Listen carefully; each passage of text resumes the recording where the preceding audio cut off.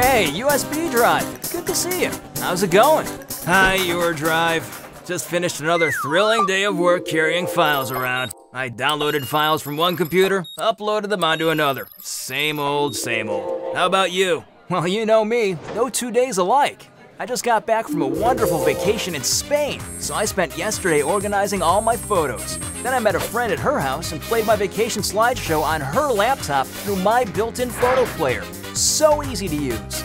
And today I was enjoying flamenco music on my urDrive MP3 player while I searched online for Spanish language classes through my own built-in internet browser. Since I have my own portable desktop to take anywhere, I never know where I'll end up. Friend's house, the library, or at an internet cafe in a foreign country.